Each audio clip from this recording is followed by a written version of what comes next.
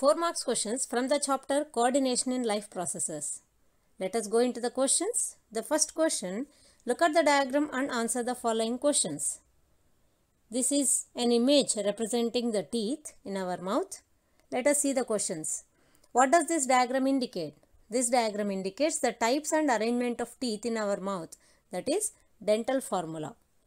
It not only represents the types of teeth but also the number of different types of teeth. Next question. What do A, B, C and D indicate in this diagram? A indicates incisors, B indicates canines, C indicates premolars and finally the D indicates molars. These are the different types of teeth in our mouth in one jaw, in one side of the both jaws. Next question. What is the function of A and B type of teeth? Here A represents the incisors. Incisors help in cutting the food. Whereas B represents canines. They help in tearing the food. Next question.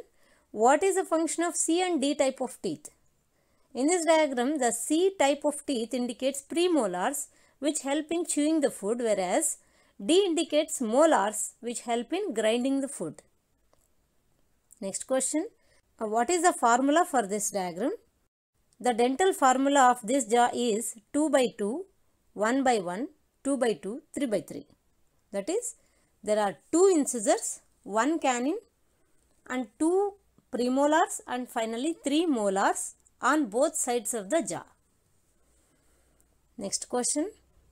Why do we need to have different types of teeth? Why do we need these kinds of different types?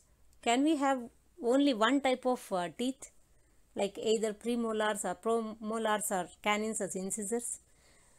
But we need to have different types of teeth because we eat different types of food. Hard food, soft food, etc. And there are some fiber food, different types of foods. So we eat different types of food items and these food need to be chewed properly. It has to be cut, it has to be teared, it has to be grinded, it has to be chewed properly for their proper digestion as per the requirement I mean, uh, of our digestive system. So we need to have different types of teeth. Next question. Suggest the food habitual actions to your friend while eating. And what are the good food habits that we have uh, regarding eating of food or food? Next answer is take healthy and nutrient food. Avoid talking while eating. Take the food leisurely instead of eating in hurry. And eat small quantity of food at regular intervals. Drink sufficient water while eating. While eating, masticate the food in the mouth for proper digestion. Take care to maintain fiber food in a regular diet. Finally, avoid taking too much antibiotics. Next question. Observe the diagram and answer the following questions. This is again a diagram based question. The first question is what does this diagram indicate? This diagram indicates the location of papillae and taste buds on the tongue. Next one, what are the different senses identified with these organs?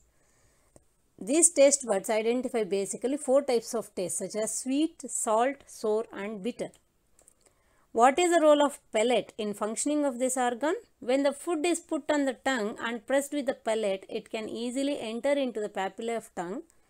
Then the taste buds can easily and soon identify the taste. What happens if these buds are absent in our tongue? If taste buds are absent in the tongue, we cannot taste the food. Hence, we may not feel like to eat food. This may lead to the malnutrition.